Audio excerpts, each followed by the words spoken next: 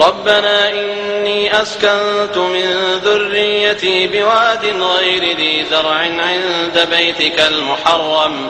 ربنا ليقيموا الصلاة فاجعل أفئدة من الناس تهوي إليهم وارزقهم من الثمرات لعلهم يشكرون. ربنا إنك تعلم ما نخفي وما نعلن. وما يخفى على الله من شيء في الأرض ولا في السماء